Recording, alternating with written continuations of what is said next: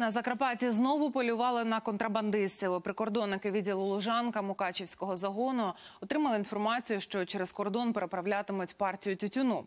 Оперативна група розшукала зловмисників. Проте, щоб їх спинити, довелося стріляти. Одного порушника затримали, і ще двом вдалося втекти. Зараз їх розшукують.